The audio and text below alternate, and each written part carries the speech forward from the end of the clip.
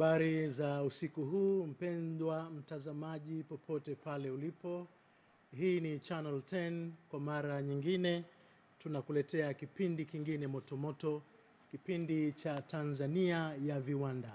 Naitwa Baruti Ali Khalfan Mambo, karibu sana. Hiki ni kipindi kipya, kitakuwa kikukujia kila siku za Jumamosi au kila siku ya Jumamosi moja kwa moja, yaani live kutoka hapa Channel 10 kilicho bora kabisa, kuanzia saa nne za usiku, na ni kipindi cha saa moja.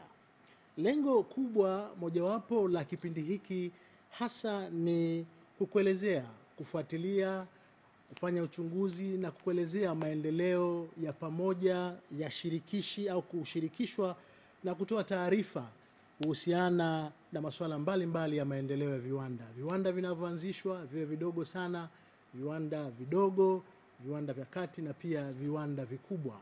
Na vile vile tutakuwa tunatembelea viwanda mbalimbali kote nchini. Tutatembelea viwanda vidogo, vidogo sana, viwanda vya kati na pia viwanda vikubwa, lakini hasa ni kuunga mkono juhudi za serikali ya awamu ya tano ya serikali ya Rais John Pombe Magufuli ambayo inasisitiza umuhimu wa kuendeleza viwanda vilivyopo, lakini kuinua uchumi au kufikia Tanzania ya viwanda ifikapo mwaka 2025 kwa kuanzisha viwanda vipya, kuanzia viwanda vidogo sana, viwanda vidogo, viwanda vya kati na viwanda vikubwa. Kwa hiyo watazamaji wetu wapendwa, Watanzania wenzangu, karibuni sana kwenye kipindi hiki na tunatarajia kuwa na mgeni. Nitakuwa na mgeni wangu hapa hapo baadaye kidogo, na nisisitize kwamba tutakuwa na mada mbalimbali mbali na tofauti kuhusiana na maendeleo ya viwanda Tanzania, kuhusiana na sekta ya uchumi, uchumi wa viwanda, lakini vile vile sekta zingine ambazo kwa namna moja ama nyingine zinaisaidia sekta ya uchumi wa viwanda kusonga mbele na kwa mujibu wa dira yetu ya taifa ya maendeleo ifikapo mwaka 2025 tunatakiwa Watanzania tuwe na kipato ama tuwe kwenye nchi au Tanzania ya kipato cha kati. Uchumi wa viwanda unaendelezwa kwa pamoja na Watanzania wote, ikiwa tutaamua kufanya kazi kwa juhudi na maarifa, na kila mtu akatumia fursa uwezo na mahali pake pa kazi vizuri, basi bila shaka hakuna kitu ambacho kitaweza kutuzuia kufika kwenye maendeleo ya uchumi wa viwanda. Ninaamini kwamba kila Mtanzania atakapowajibika au anavyowajibika kwenye sehemu yake ya kazi kwa ufasaha, bila kuwa na lolote ambalo linaweza kuzuia eh, kuleta ufanisi na tija kwenye sehemu yake ya kazi tutaweza kufikia maendeleo makubwa kwenye uchumi wa viwanda. Ni kipindi kitakachokuwa kikikujia msimu kwa msimu na vile vile kila wiki kama nilivyosema, na kila mwezi, kila mwezi mara nne, kwa maana ya kila wiki siku ya Jumamosi saa nne kamili usiku. Lakini vile vile ni kipindi ambacho kimesheheni elimu, kitakuwa kinakuletea ufahamu wa kutosha na vile vile maarifa na mbinu tofauti zinazotumiwa na wenye viwanda Tanzania na nje ya Tanzania ili kuhakikisha kwamba tunakuwa na nchi ambayo inakwenda sanjari na maendeleo ya viwanda, lakini maendeleo hayo yanayokwenda sanjari pia na teknolojia ya kisasa viwandani na kwenye maeneo mengine yanayosaidia sekta ya viwanda kukua kwa haraka na kwa ujuzi ambao unaweza ukarithiwa baada ya muda au baada ya kiwanda kwenda sehemu moja na hatua nyingine. Lakini vile vile tuna lengo la kuhakikisha kwamba tunaiunga mkono asilimia mia moja serikali yetu ya awamu ya tano ambayo imejipambanua vilivyo na kuwa kwenye mstari ulionyooka wa kuleta maendeleo ya uchumi Tanzania, na eneo mojawapo muhimu sana la kuweza kuhakikisha kwamba tunalitilia mkazo ni kuongeza nguvu kazi, ni kuongeza ajira na ni kuongeza uwezo wa Watanzania kuhakikisha kwamba wanashiriki kikamilifu kwenye maendeleo ya uchumi wa viwanda. Na tunafanyaje? ni kuhakikisha kwamba tunasisitiza na tunaendelea kuweka mifumo, sheria, lakini pia tuangalie sera na mienendo yetu katika utendaji wa kazi sehemu mbalimbali, iwe kwenye sekta binafsi, iwe serikalini. Sehemu ambazo zinahitaji msukumo mpya, basi zipewe msukumo mpya ili tuweze kufika au kufikia malengo ya kutengeneza au kuwa na uchumi mzuri na imara wa viwanda.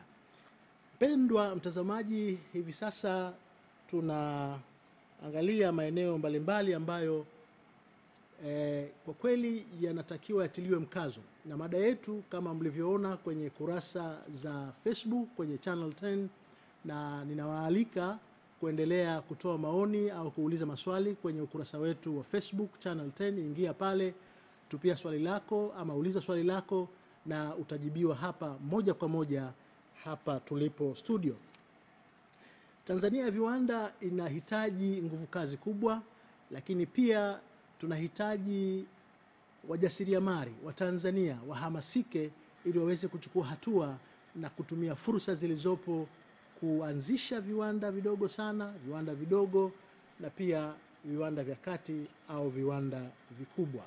Tanzania imepiga hatua, tuna maeneo mengi ambayo yanaendelea kupata hamasa kubwa na Watanzania wengi wanapata hamasa kubwa ya kufanya kazi ya kuhakikisha kwamba tunaingia kwenye mfumo mzuri wa kuendeleza viwanda vyetu. Vipo viwanda ambavyo vilishindwa kuendelea hapo nyuma, lakini kwa kasi kubwa ya serikali ya awamu ya tano, sasa hivi viwanda kadha vinaanza kufanya kazi, lakini bado tunayo kazi ya kuhakikisha kwamba viwanda vyote ambavyo vilikuwa chini au vilikuwa kwenye umiliki wa serikali hapo nyuma na baadaye kubinafsishwa, basi vinafanyiwa kazi ili kuweza kuleta e, ile dhana ya uchumi wa viwanda, kwa maana ya kwamba tuweze kuwa na uwezo mkubwa zaidi wa kuchakata bidhaa ama kuchakata mali ghafi zetu hapa Tanzania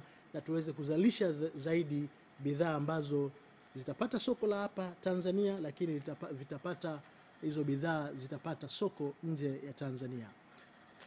Na baadaye tutakaribisha simu zenu, wapendwa watazamaji wetu, lakini vile vile mnaendelea au mnakaribishwa kuendelea kutuma maoni yenu kwenye ukurasa wetu wa Channel 10. Tuma maoni yako pale, toa ushauri wako na utajibiwa, na pia tutapokea kama ni ushauri basi tutaufanyia kazi ili tuweze kusonga mbele vizuri kwenye kipindi chetu cha Tanzania ya viwanda. Baada ya muda tutakuwa na mgeni wetu rasmi ambaye tutakuwa naye kwa siku ya leo. Nasema rasmi kwa sababu ni kipindi ambacho ndio tunakizindua leo, leo na vile vile ni kipindi ambacho kitakuwa kinakupa maendeleo na takwimu pamoja na eh, shughuli mbalimbali ambazo zitasaidia kukupa hamasa, zitasaidia kukuonesha picha kubwa ya Tanzania inakoelekea kwenye maendeleo ya uchumi wa viwanda. Lakini vile vile uchumi wa viwanda unasaidiwa na sekta mbalimbali. mbali. Kuna sekta ya usafirishaji, kuna sekta kubwa kabisa ambayo inalisha viwanda, sekta ya kilimo na sekta zingine mbalimbali mbali ambazo kwa namna moja ama nyingine zinasaidia kuimarisha uchumi wetu wa viwanda. Kwa hivyo tupate muda kidogo wa kunywa maji. Baada ya muda kidogo, tutarudi hapa hewani.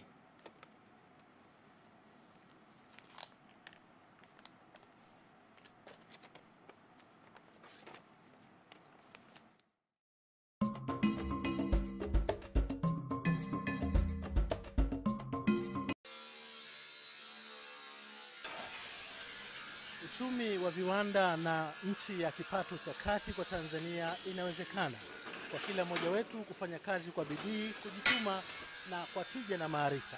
Usikose kuangalia kipindi chako cha Tanzania ya viwanda hapa Channel 10 kilicho bora kabisa.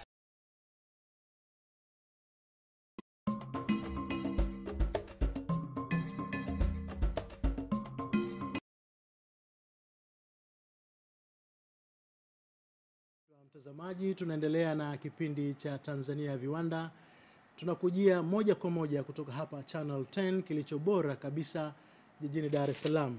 Tuko moja kwa moja live na tunakaribisha maoni yako, tunakaribisha maswali yako na vile vile ushauri ama chochote ambacho unapenda kuchangia kwenye kipindi hiki, nasi tutapokea na tutakujibu kama inavyostahili.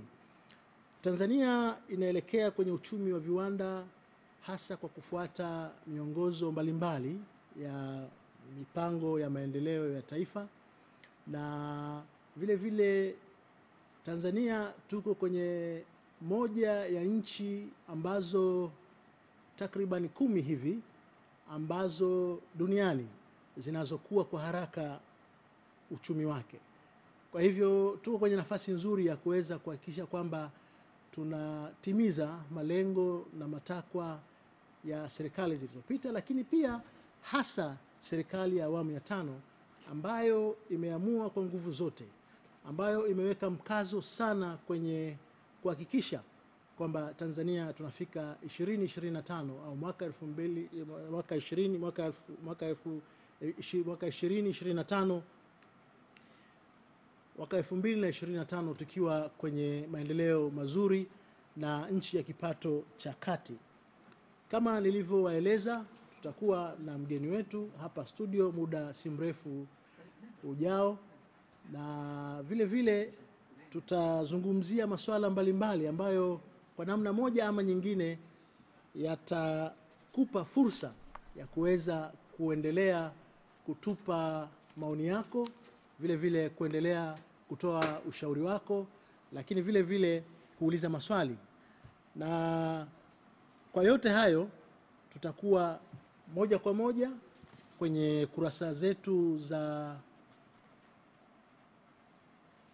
Facebook na vile vile kurasa nyingine za mawasiliano ya mtandao wa kijamii ili kukupa fursa ya kuweza kufuatilia mada zetu mbalimbali ambazo tutakuwa tukizijadili na kukushirikisha wewe mtazamaji ili kuweza kuendelea kuwa nasi na vile vile kutoa mchango wako wa kuweza kuhakikisha kwamba nchi yetu inasonga mbele kwenye maendeleo yake ya uchumi hususan masuala ya uchumi wa viwanda. Hivi sasa ninaye mgeni wangu ambaye nimewatambulisha hapo awali kwamba nitakuwa naye, na ni vizuri ajitambulishe mwenyewe kwa sababu inawezekana wengi mkawa na hamu ya kumjua mgeni wangu na ambaye nitakuwa naye hapa. Tunazungumzia ni namna gani tunaweza kupata maeneo muhimu au kwa Kiswahili kingine tunaweza tukasema kwamba ni maeneo gani muhimu ya kutiliwa mkazo ili kuweza kufika kwenye uchumi wa viwanda Tanzania kwa mafanikio zaidi. Ninaye hapa mgeni wangu, nimtambulishe. Karibu dokta. Asante mambo. Mimi naitwa Lunogelo Ndio, Bohela Lunogelo. sawa sawa.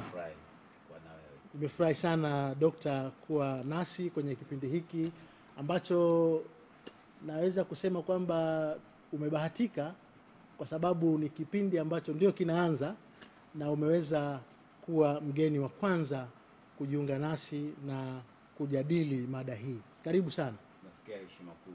nashukuru sana. Kuna wengine ambao walistahili kuwa waanzishi wa kipindi.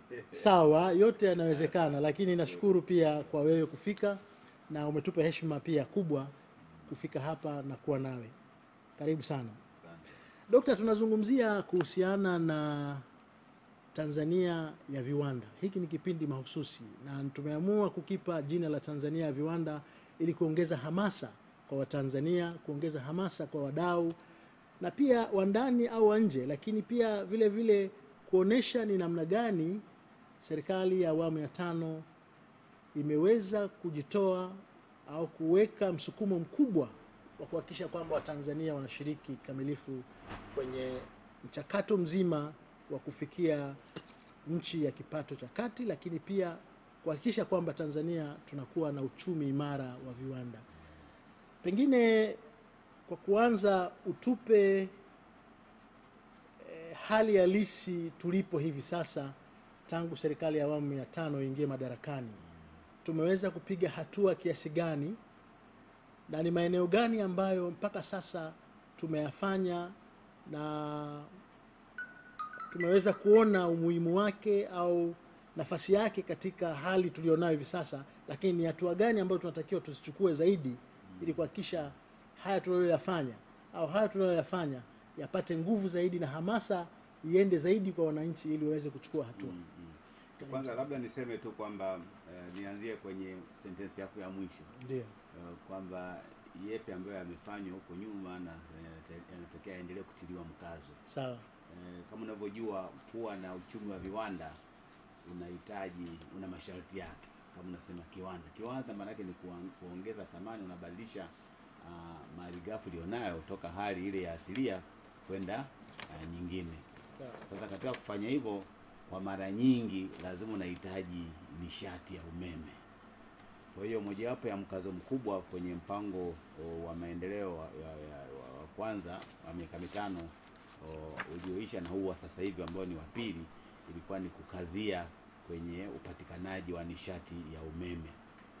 Ah, na ndio maana katika awamu iliyopita uh, misingi iliwekwa kuhakikisha kwamba tunaongeza upatikanaji wa umeme toka uh, vyanzo vya uh, gesi asilia. Kwa hiyo utakuta kabisa kabisa kulikuwa kuna bomba ambalo limeshawekwa kuleta gesi toka uh, uh, kusini mpaka Ubungo. So Kuna. Kinyerezi wani Kinyerezi Tu, ili kuongeza. Awamu hii eh, ikasema e, hiyo haitoshi, e, nishati eh, kutoka eh, gesi asilia haitoshi, tuendeleze vile vile vyanzo ambavyo kiasilia toka miaka ya nyuma sana ilikuwa vyanzo vya ma, ma, umeme toka kutokana na, na maporomoko ya maji. E, kwa hiyo umeme wa maporomoko ya maji e, ndio mkazo mkubwa wa wa, wa awamu hii. Lakini sio kwamba ile ya, ya nishati ya, ya, ya, ya, ya, ya gesi imeachwa, hapana, inaendelea. Eh, kwa hiyo eh, mkazo mkubwa ambayo imeenda ni na, na, na kwa nini? Kwa vile ukiangalia uh, kwenye tafiti ambazo zilikuwa zimefanywa huko uh, huko nyuma inaonyesha wazi kabisa uh, nchi ambazo zime, zime, zimeenda kwenye uchumi wa kati. Nilikusikia ukiongelea kwanza nchi zenye ambazo zimeingia kwenye uchumi wa viwanda miaka ya karibuni. Sawa, sawa. E, nilipata bahati kuwa kwenye timu ambayo ilifanya tathmini ya ya, ya, ya hii dira ya taifa 2025 Sawa. mwaka 2012 tulifanya chini ya uh, tume ya mipango. Wakati huo dakta Mpango akiwa kule. Kwa hiyo tukagundua kwamba uh, kuna vitu ambavyo u- u- lazima vi, vitokee ndio kweli unaweza nchi karuka ika ika ya, ya, ya, ya, cha, cha, kwenye cha, cha, cha muhimu kabisa ilikuwa ni upatikanaji wa umeme. E, upatikanaji wa umeme. E, kwa, kwa hiyo ndio maana hiyo serikali ime, imeamua kutilia mkazo sana kwenye kwenye hilo lakini lakini ingine ambayo uh, ime- imetilia mkazo na na bahati tena hata mimi nimeshiriki sasa kwenye hilo zoezi eh, ni, ku, ni kufuatilia kile ambacho kilikuwa kimeandikwa uh, kwenye mpango mkakati wa viwanda wa Tanzania ambao ulikuwa umetayarishwa ile miaka elfu mbili. Tu- ulikuwa kuna mpango mkakati wa viwanda unaita mini tiger yani kama vile eh, ni, ni, ni, ni, ni, ni, tiger ni sio chui. Tiger. Mi- ta- ta- ta- ta- ta- yani tulikuwa tunajaribu kuiga kama nchi za Za- za- za- za Asia. Sasa ile ilikuwa ambazo wakati fulani zilikuwa zinalingana yes, na sisi watu tukasema hebu tu, tu, tuwaige. Sasa katika kuwaiga tukasema tuka, tuka tume, tumegundua kwamba kwa vile kuna matatizo huwezi ku, ku, kupanua upatikanaji wa umeme ukawa mwingi kwa, kwa kasi basi ule ile, ile nishati kidogo iliyopo eh, ule maji kama yanapatikana kwa, kwa uchache eh, na nguvu za kujenga barabara miundombinu ya barabara inapatikana basi tuielekeze kwenye maeneo ma- fulani ambayo yanaitwa maeneo maalum ya viwanda. Eh, kwa hiyo ile ilishawekwa tangu mwaka elfu mbili kwamba tutakuwa kwamba kila mkoa na kila wilaya iwe na maeneo maalum eh, ya viwanda sasa awamu hii mojawapo ya, ya, ya, ya mkazo ambao awamu hii ime- imetilia ni hilo. Na, na nimeshiriki na, na bahati kwamba nimeshiriki kwenye mikoa uh, kadhaa pamoja na Mwanza, Tanga, Ruvuma uh, na taasisi ambayo inafanyia ya ESRF uh, imeshafanya uh, sasa kama mikoa kumi na mbili. Sawa, ambayo kila mkoa sasa unajaribu kuainisha uh, ifanyefanyeje vipaumbele ya kama ya, ya viwanda uwekezaji iwe kwenye maeneo gani Eh, na, na, na, na, na maeneo kwa maana ya uch, uch, kama ni kuchakata bidhaa ziwe za aina za aina gani? Malighafi zitapatikana vipi? Lakini vile vile hivyo viwanda vitajengwa maeneo gani? Kwa hiyo utakuwa kila halmashauri tumechambua. Kwa mfano mimi nienda pale kule Ruvuma mpaka nimefika mpaka kule Tunduru, naangalia sasa kama unataka ku, kuongeza thamani kwenye madini, maana sasa hivi wanachimba tu kienyeji.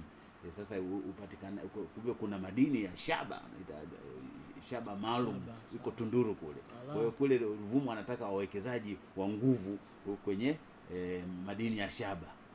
Eh, lakini ukienda uki- ukienda kama kama Tanga wenyewe sasa uh, kwenye uwekezaji eh, bad, eh, kama mbadala mkonge na wenyewe uendelee kuwekezwa kwa vile una, una mkonge unaweza ukatoa bidhaa nyingi tu, sio kamba tu au magunia kama tulivyozoea. Kuna bidhaa nyingi tu, lakini wameamua na wengine, kwa mfano kule Handeni wenyewe sasa watawe, wanawekeza kwenye korosho lakini vile vile na, na mhogo, kuchakata mhogo. Utaona pale Chalinze na maeneo ya, ya, ya, ya, ya, ya, Segera, sio sio Chalinze, maeneo ya Segera pale. Tayari kuna wawekezaji, vinajengwa viwa- viwanda kwa ajili ya kuchakata ah, mhogo, kutoa kutoa, kutoa, kutoa wanga. Kwa hiyo- kila mkoa ndio wamewekewa uh, malengo na wanafuatilia kwa karibu.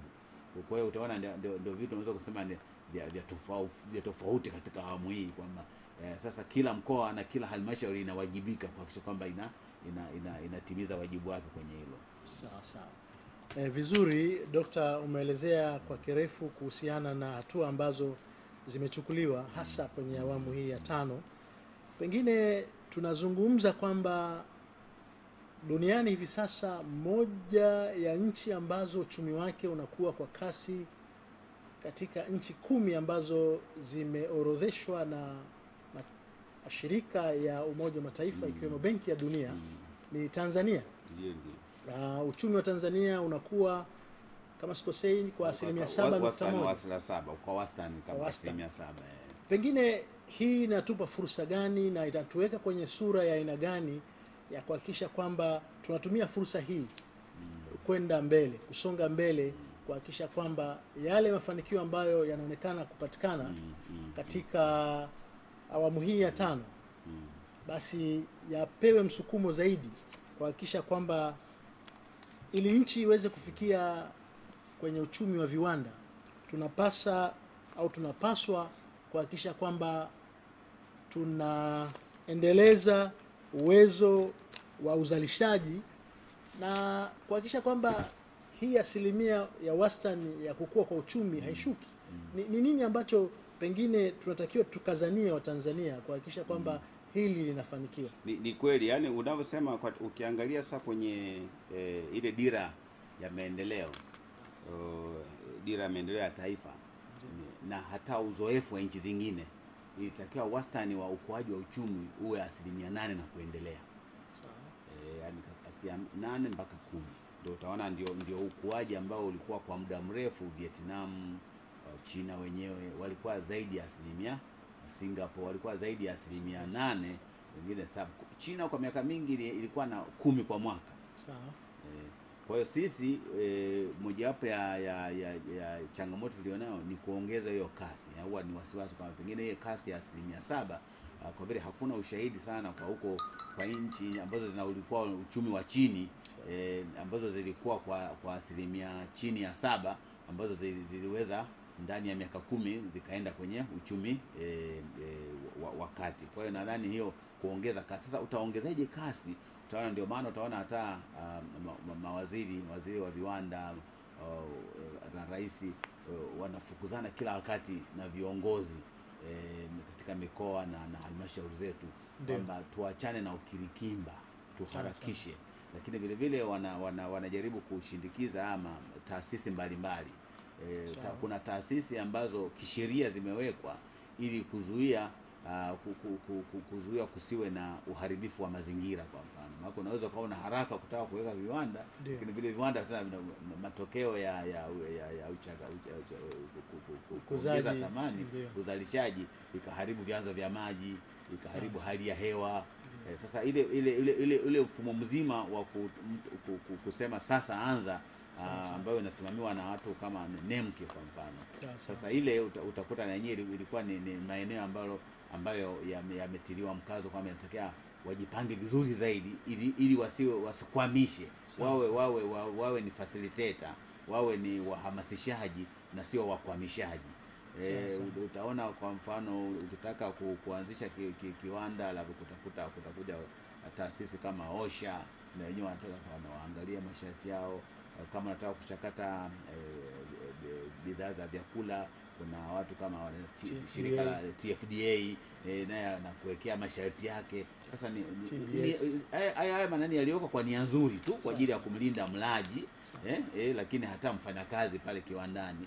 Lakini sasa uki, kama hu, eh, huna mtizamo wewe mhusika, huna mtizamo wa, kurahisisha kumsaidia mwenye kiwanda uh, unampa tu makosa, lakini hum- humwonyesha afanye Humwonyesha fanyeje, au maanake kwamba itachukua muda mrefu. Tofauti na na ofisa ambaye amesha mtizamo wake umebadilika, yeye ni mtu wa kuwezesha kwamba anamsaidia yule mwenye kiwanda, bwana, hapa naona ume, kuna mapungufu haya, na ili uweze kukidhi mahitaji ya kisheria tunaomba ufanye moja mbili tatu, ana wanasaidiana eh, lakini utakuta maofisa wengi utakuta wenyewe wako pale kama kukwamisha eh, mambo yasiende sana. Nani ndio ndio mheshimiwa amekuwa akikemea sana tabia za namna hiyo. Hata leo na, na, unakumbuka wakiwa pale mpakani na Manga uh, wakiwa mheshimiwa Magufuli na na, na, na, na, na mheshimiwa Kenyatta walirudia hilo kwamba bado kulikuwa kuna kuonyesha kwamba bado kuna kazi kubwa kwa wafanyakazi serikalini katika idara mbalimbali kubadilisha mitizamo yao kuwa ni, kuwa ni wafanyakazi ambao wako pale kusaidia maendeleo,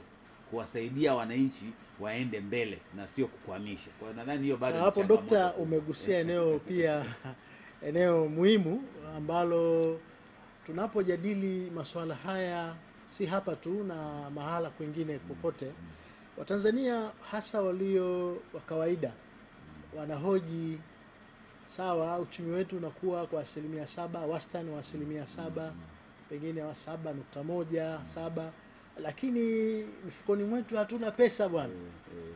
Mimi mnasema tunakuwa tunakuwa kwa uchumi, pesa hakuna, inakuwaje? Hili hili hili pengine kabla hujalijibu e, tuna maoni mbalimbali ambayo yanatufikia kupitia Eh, mm. ukurasa wetu. Hilo pengine dokta uli, liweke uliweke e, ili tuwape jawabu watazamaji wetu na kipato cha mwananchi na mwananchi. Mm. Sasa kuna Masanje Masanja Kanone wa Geita Igeta Igate Geita anasema ifikapo elfu mbili yeye anasema kumi na tano nafikiri ni makosa ya uchapaji ni elfu mbili na ishirini na tano. Ndio itafikia mlengwa au serikali ya Yoni eh, kwamba eh, kuendelea ku, ku, ku nafikiri sijamwelewa vizuri. Mm. serikali ina malengo yapi kwa wananchi wake ambao maisha yao bado ni duni? Nafikiri eh, inaweza eh, likaungana ndio na hiyo inalingana na Eh, hiyo. pia tunaye kwamba Prince- kwa nini inatakiwa tusubiri kweli mpaka Tusubiri, 2025 eh, ndio eh. tuwe na hali nzuri ndio ndio Eh, Eh, mwingine anaitwa Prince Anjusi anasema kikubwa ni kuimarisha nguvu kazi, pia kujali wafanyakazi, kwa sababu bila wao hamna hakuna, nafikiri anachomaanisha hakuna kitakachoendelea. Kwa hiyo cha kwanza ni kujali hilo. Huyu ni Prince, hakusema yuko wapi, hajasema yuko wapi. Ah, kuna Jafar Machulo, yeye ni wa Kibamba, Dar es Salaam, anasema kikubwa ni kuongeza elimu hii iwafikie watu wengi na kuwa na mpango wa kimkakati kuhakikisha tunakuwa na wataalamu wetu wazawa wa kuendesha viwanda hivyo na si kutegemea wawekezaji. Huyu ni Jafar Machulo, anasema yuko Kibamba, Dar es Salaam. Mtazamaji, tunakuhamasisha uendelee kutuma maoni yako ingia kwenye ukurasa wa Channel 10, ukurasa wa Facebook, tuma maoni yako, uliza maswali, toa ushauri wako, na sisi tutasoma maswali yako au maoni yako moja kwa moja hapa kwenye kipindi chetu cha Tanzania ya Viwanda moja kwa moja. Dokta, mm. eh, tulikuwa tuna swali hilo kwamba ukuaji wa uchumi, kipato hakuna kuna mtu amelalamika tutafikaje mpaka ishirini ishirini na tano hatuona chochote hatuoni kwamba tunachelewa sana sijui hilo unaliwekaje? E, kwanza kwa- kwa- serikali inaposema kwamba ikifika ishirini ishirini na tano uh, tuwe na hali fulani, haimaanishi kwamba kama unaweza hata kesho ika- ika- ikatimia hivyo, basi utasema hairisha mpaka usubiri ishirini ishirini na tano 25. ni, ni, ni, wanasema kupanga ni, ni kuchagua. Sasa katika vitu ambavyo labda tu, tu wananchi tuelewane tu ni kwamba uh, ukubwa wa uchumi unatofautiana kati ya nchi na nchi. E, kwa mfano wenzetu wa Uingereza au Marekani uchumi wao una, unakuwa kwa asilimia moja au sufuri pointi tano kwa kwa, uh, kwa mwaka na wananchi wake wana kipato kikubwa. Sisi tunasema tunakuwa kwa asilimia saba. Kwa hiyo tofauti ikoje? Tofauti ni kwamba sisi uchumi wetu bado ni mchanga, yaani ni sawasawa na na na na na, na, na, na kama vile tunakuwa na pima muhindi unapokuwa siku za mwanzo pale unapoweza kukua pale una, unakuwa haraka. Kama ukiwekea mbolea ya kutosha na maji ukiamka asubuhi umeongezeka kwa hiyo unakuwa kwa asilimia kubwa. Lakini bado ni mchanga yaani hauridhishi. Huwezi kusema utaula au yani umekoma huo muhindi haujakoma, haujakomaa lakini unakuwa kwa haraka. Wakati ule ambao ukishafikia ule muda wako utaenda unaenda pole pole. Sasa ndio una koma kwa sababu wenzetu uchumi zile za- Ulaya zilishafikia ukomavu. Kwa hiyo utaona zenyewe ni kama hazi- ni kama vile hazina kwa kwenda. Yani ndio maana ukua wake wanapima zaidi labda mfumuko um, wa bei zaidi kuliko ni kukua. Yani kila kitu kilisha uh, kaa vizuri. Sasa sisi kuna vitu vingi sana ambavyo vinafanyika ambavyo ni vya kujenga misingi mizuri ya kutufanya baadaye tuwe na mapesa ya kutosha mifukoni. Kwamba usipo kukua tunaposema unakuwa maanake ni kwamba tunawekeza sasa kwenye miundombinu ya, ya, ya, ya mabarabara. Yote inapimwa kama unaongeza. Maanake unaongeza ni, ni mali za, za, za, za Tanzania. Za, Za- mali zilikuwa ha, hazipo sasa zipo. Unapoweka bandari unaboresha unapo- unapojenga reli yote inaingia kwenye kuonyesha kwamba uchumi una unaongezeka. Maana vitu vilikuwa hamna madaraja. Sasa kuna madaraja uh, kulikuwa kuna ma, ma, mashule kuna mashule yote inaingizwa kwenye kukua kwa, kwa, kwa uchumi.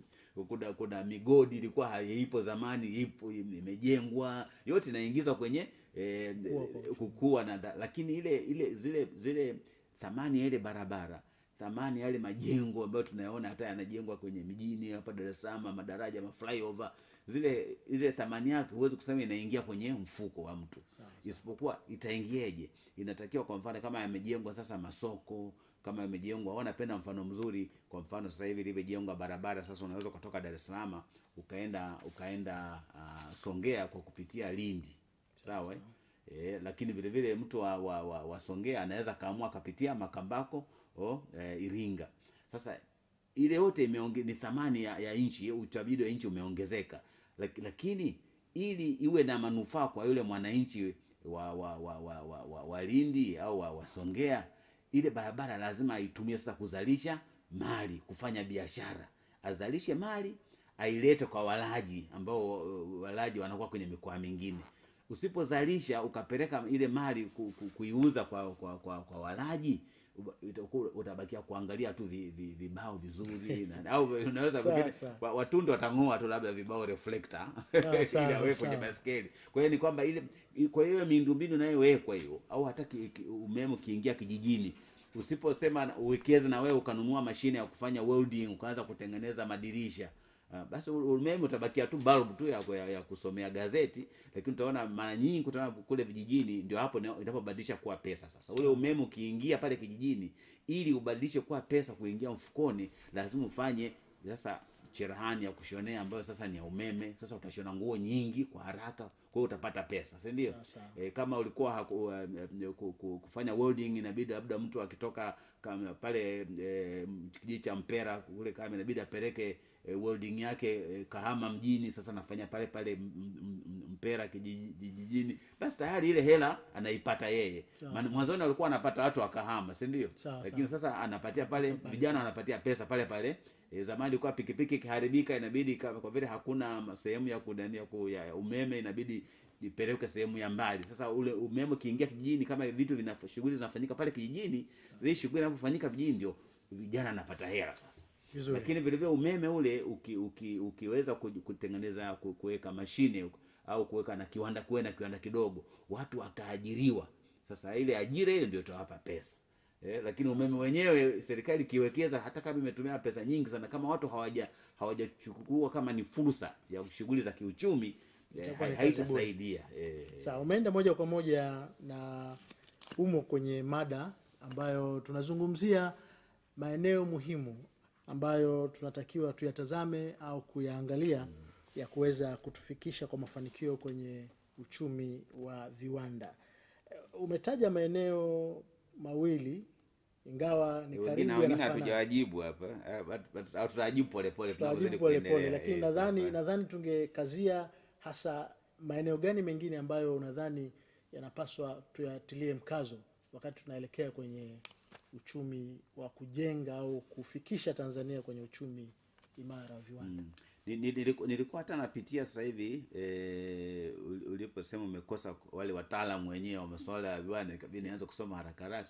Nilikuwa nasoma uh, vitabu eh, vit- vit- vitabu mojawapo cha ah, Ali Mfuruki. Sawa, Uh, Ali Mfuruki ametoa ma, maoni mle.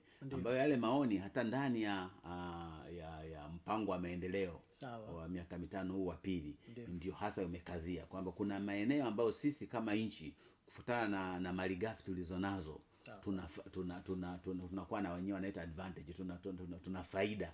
Uh, maanake mojawapo ni kwenye sekta ya ngozi. Kwamba sisi kama kama nchi e, tuna wa, wa, wa, ng'ombe au mifugo ng'ombe mbuzi e, ni, ni, ni nchi ya ya, ya, ya, ya, ya, ya pili au ya tatu Afrika kwa kuwa na mifugo mingi kwa sasa e, ile ngozi kwanza kuna nyama yenyewe kuna usindikaji wa nyama kwa hiyo ni fursa nzuri tu eh, kusindika nyama ili tuweze kuuza nyama ambazo zimesindikwa toka lakini vile vile tunaweza tukafuga vizuri ile mifugo tukaipeleka kwa wenzetu ambao wenyewe eh, hawaamini kama hawajachinja wenyewe ikapelekwa mizima mizima ikiwa na afya kwenye nchi eh, za za za, za masha, ma, ma, Mashariki ya Kati. kwa mfano eh, Komoro inapelekwa mifugo ya namna hiyo. Lakini vile vile ile ngozi sasa inatakiwa tu, tufundishane vizuri ile ngozi iwe na na, na ubora ambao unaweza ku- kutumika sasa kuanzisha vi, kufufua. Maana tukisema kuanzisha kuna kuanzisha na kufufua. Maana vilikuwepo kumbuke vilikuwepo viwanda vi- vi- vikubwa tu vya ngozi. E, Mwanza Morogoro Mbeya ah, inatakikana kufu- na, na kuanzisha vingine ili tuweze kutengeneza bidhaa za, ah, za, za, za, za, za ngozi viatu mabegi. Na na hiyo eh, ni, ni, ni, wana, wanasema ki- kiutaalamu ndio wa, sehemu ambayo ni rahisi zaidi. Wenyewe wanasema kama ni mwembe maembe yake ndio yana yako chini chini ni rahisi kuyachuma. Maanake kutengeneza viatu au mabegi hahitaji yani digrii nyingi maanake swala la kuwa na wataalamu hahitaji utaalamu mkubwa sana. Eh, eh, Ja- Jafari na alikuwa ameuliza tuwe na wataalamu wetu. Hiyo hahitaji madigrii mengi sana kuanza kutengeneza ha? Eh, ma- na, na, na sio lazima tuwe na viwanda vikubwa sana vya kutengeneza hizo viatu hapana. Kwa mfano hapa-. Kwa mfano ni kukatisha kidogo mm. dokta, kuna mtu anaitwa Joshua Rubenge, yeye ni wa Muleba Kagera, uh, mkoani Kagera, anasema tuna wafugaji wengi wa ng'ombe na mbuzi. mm. Uh, swal, swali lake ni kwamba kwa serikali, anauiza serikali kwamba je, kuna mpango wowote wa kujenga kiwanda cha kusindika maziwa na nyama katika mkoa wetu? mm -hmm. Sasa hilo lilokuwa ukilizungumza na nimeona nikukatishe kidogo, niungane na wewe nikupe hili swali la huyu mtu kwa sababu linaenda sanjari na yale ambayo ulikuwa ukiyaelezea hapo muda si mrefu. kwa hiyo kwa kwa hiyo kwa, kwa, kwa, kwa maana yani kuna kuna kuna vitu vingine kwa mfano uh, kwenye swala la swala la maziwa kwa mfano. Kwa, kwa swala la maziwa kutahitaji kuwekeza zaidi kwenye elimu ya ufugaji bora uh, na kuleta na, na wakulima wetu kukubali kuchukua mbegu bora zaidi ambazo zinatoa maziwa ha, uh, mengi zaidi e, lakini serikali iko tayari katika mikoa yote ku, ku, ku, kujenga vituo kwa ajili ya kukusa- ukusa- ukusanya. Kwa sasa hivi e, ng'ombe wale wa kienyeji wale e, wanatoa e, chini ya lita mbili lita moja moja unusu kwa siku. Sasa we na, kwa hiyo unahitaji mang'ombe mengi sana ili aweze kukidhi eh, eh, Mahitaji eh, yanayotakiwa eh, mahitaji. Kwa hiyo utaona kwamba hata viwanda ambavyo vi- viliopo sasa hivi, kwa mfano kile cha Asasi Iringa uh, au ile Tanga Fresh um, eh, eh, yote nayapenda ya maziwa Maziwa Fresh, maziwa. Utaona uh, wana, wana, wanapata maziwa ambayo yanakidhi nusu tu ya mahitaji ya viwanda viwanda vyao. Eh, kwa- kwa- kwa kwa hiyo nadhani hasa Bado kuna fursa kubwa. niseme chini ya nusu. E, nadhani kuna wakati fulani alikuwa anasema asilimia ishirini na tano robo. Yaani kwa hiyo ameweka mashine eh, lakini maziwa na maku- kwa mfano yule asa- as, as, as, Iringa inabidi achukue maziwa uh, anaenda mpaka Tukuyu Njombe huko ku- ku- kubeba maziwa. Yule yule wa Tanga ya- maziwa yanayozalisha ya wafugaji pale ya Tanga hayatoshi. E, inabidi aje mpaka huko Morogoro kufuata maziwa. Kwa nini? Kwa vile wale wafugaji tulionao o, bado hawaja hawatumii mbinu za kisasa kwenye kwenye ufugaji. Kwa hiyo hiyo hiyo hiyo ndio, ndio, ndio kazi ya serikali sasa kuhakikisha kwamba inawapanga vizuri wakulima, inawafundisha uh, ili, ili, ili, ili waweze ku- ku- kufuga na, na, na, na, na kutoa maziwa ya kutosha. La, lakini cha, cha, cha msingi hapa tulichokuwa nas- nasema ni kwamba uh, ki, kama Tanzania tuna fursa kubwa tu kwa kutumia malighafi zetu wenyewe kuendelea uh, kuwa na viwanda ambavyo bidhaa zake zinaweza zikawa na ushindani mzuri tu kwenye eh, so, soko la, la, la, la, la kikanda na la, la, la, la, la, la, kidunia kimataifa la kidunia.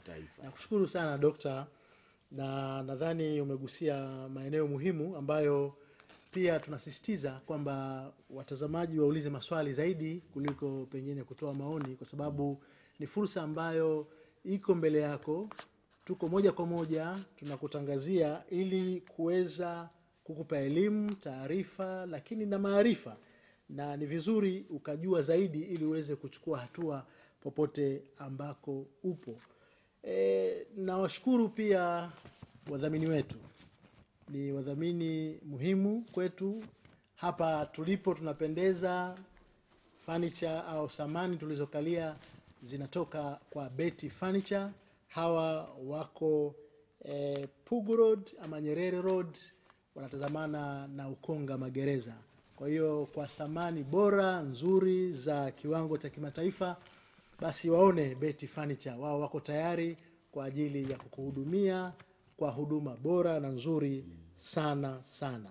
Ndio Tanzania ya viwanda. Na ndio Tanzania ya viwanda tunayosisitiza, na nadhani limetengenezwa hapa. Ni, ni vya hapa, sio vya nje, hatujiagiza nje, ni vya hapa hapa. Kwa hiyo Watanzania eh, changamkeni fursa eh, huu ni mfano bora kabisa mm. wa kuhakikisha kwamba tunaweza kusonga mbele. mm. Uwezo huo tunao, nia ipo, na njia ya kufika kwenye uchumi wa viwanda ishirini ishirini na tano tutaifikia na, na, na, na wanapo wizara ya viwanda inapoainisha viwanda inamaanisha kwamba kuna saizi mbalimbali ya viwanda. Kuna viwanda wasema vidogo sana, sana ambavyo ni chini ya watu watano, lakini kuna vi, vi, vi, vi, vi, vi, vi, Vidogo. vidogo uh, alafu vingine vya- watu watu ishirini mpaka hamsini eh, vya- vya- kati eh, mpaka mia mbili alafu kuna vikubwa.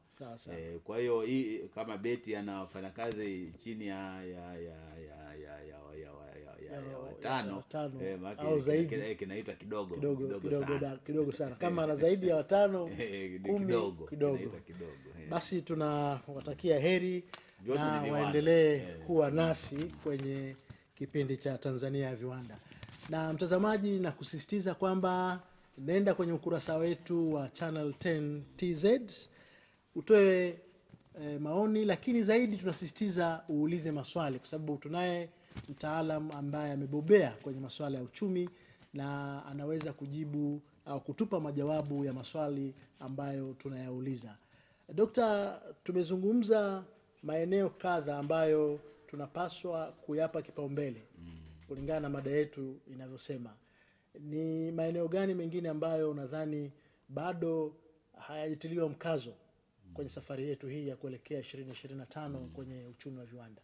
Labda nsingependa nisingependa kutumia kusema kutilia mkazo, labda tuseme hatujafanikiwa sana kuwa na matokeo mazuri. Sawa, tumejaribu Eh, kuyafanya. e, e, tuna- tunayafanya. Mojawapo ni li- li- wacha ukiachana na ile ya ngozi, bidhaa za ngozi, kwa vile ng'ombe tunao kinachotakiwa ni utaalam tu, maana katikati hata zile ngozi, mojawapo ya utaalamu unaokosekana ni jinsi ya kumtunza yule ng'ombe ili ngozi yake iwe na thamani. Sasa hivi tuna matatizo kwamba wale ng'ombe eh, kila wanapigwa chapa wanaita wanachorwa eh, mambo yani ile m yako unaiandika m mli ng'ombe limejaa m. Sasa ile akija kuchuna ile ile ngozi e, kiwandani inapungua. ina- inapungua. Kwa hiyo serikali utaona ime ndio ilianzisha mwaka tangu mwaka juzi.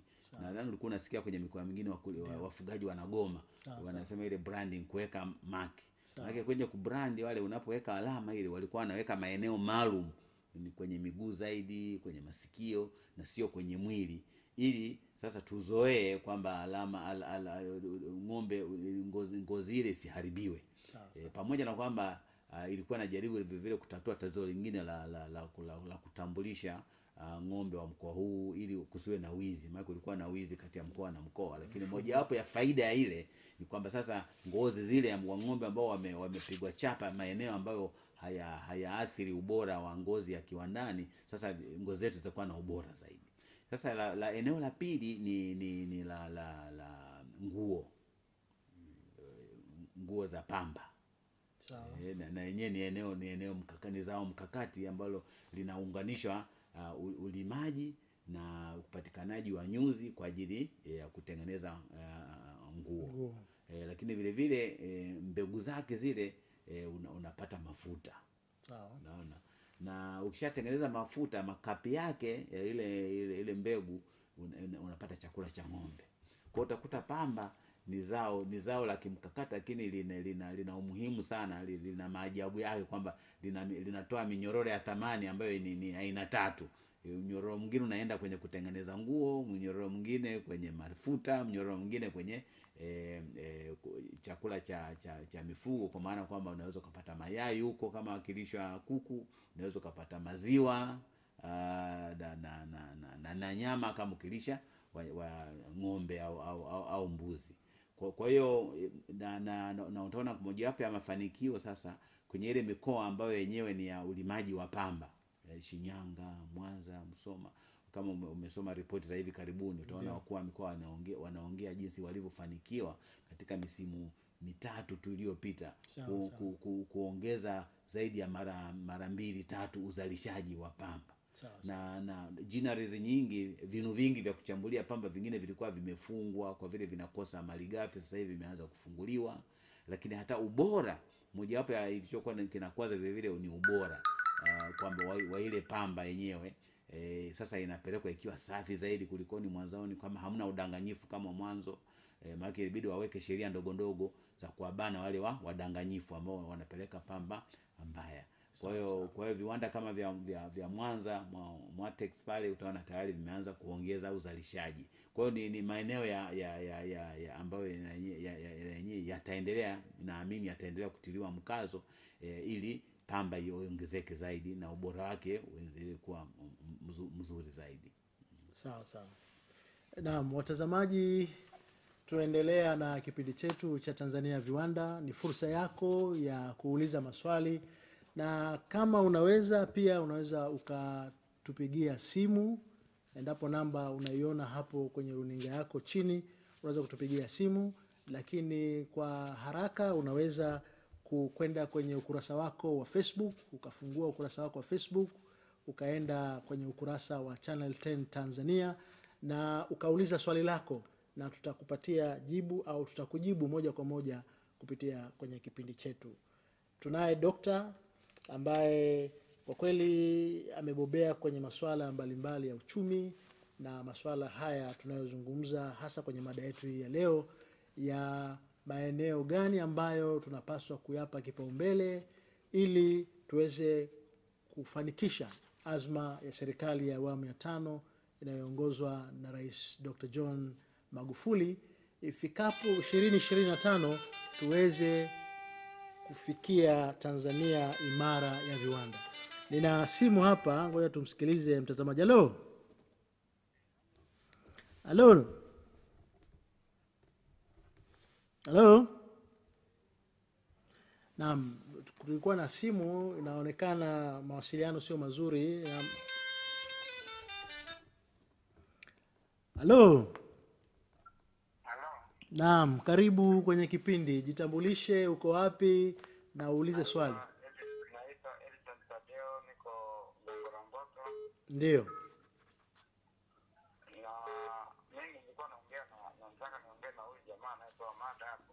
Ndio dokta, mgeni wetu hapa studio Dokta Bohela. ndio. Ndio, mimi naona kama amemchanganya, kwa sababu mimi nimefanya kazi kwenye kampuni ya ya Dafresh. ndio, Maziwa ni mengi sana, nimeona kuna kampuni hapo inaitwa Besa. Ndio, ndio, na naona tangazo wanalionyesha hapo, lakini ndio.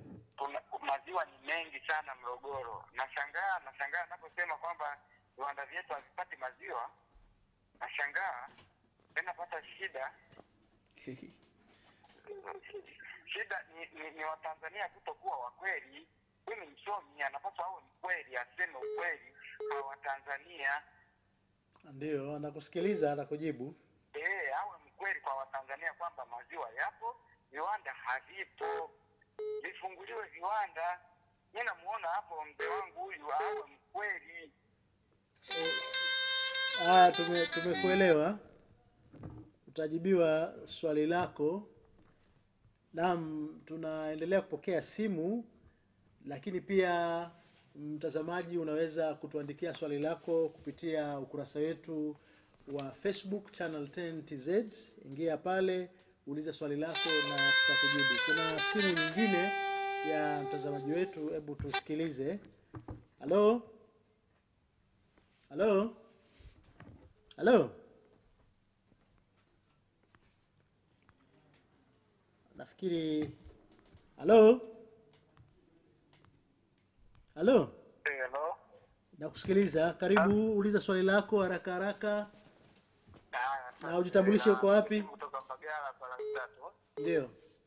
Nilikuwa napenda kuulizia juu ya zile chupa ambazo zinaokotwa mtaani Ndio. alafu zinafanyiwa recycling kwa ajili ya kuzalisha chupa zingine kwa ajili ya kuweka product tena. Sawa. Je, hazina effect kwa mtumiaji? Tena hazina madhara? Sawa, tumekusikia utajibiwa.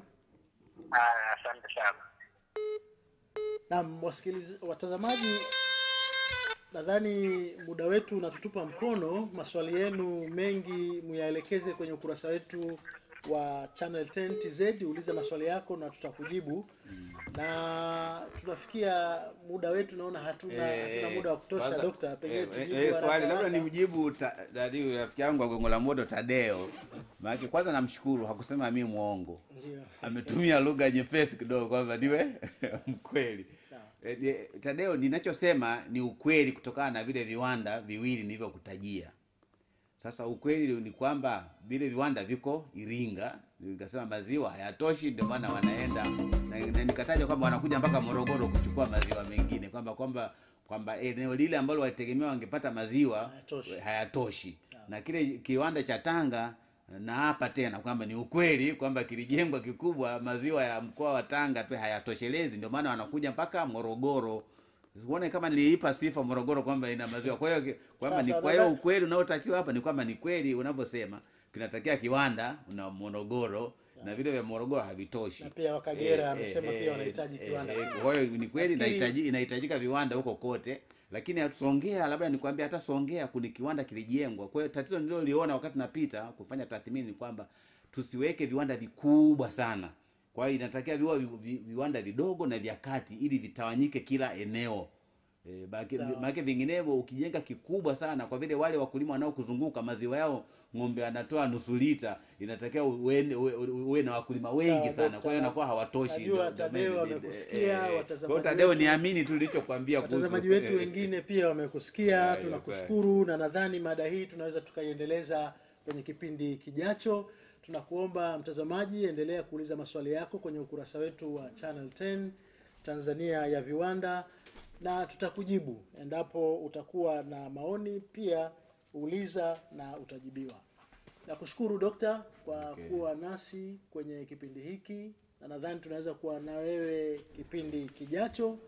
Nakukaribisha sana, karibu. Asante, asante. Naam, watazamaji, nawashukuru kwa kuwa nasi kwenye kipindi cha Tanzania ya Viwanda. Endelea kutufuatilia kwenye kurasa zetu za Facebook na kurasa zingine WhatsApp na hayo mengineyo, tutayakupa tutakupa anwani zetu za mitandao ya kijamii ili uweze kutufuatilia, kuuliza maswali pamoja na kutoa maoni na hata ushauri. Naitwa Baruti Mambo. Asanteni kwa kuwa nasi na kwaherini.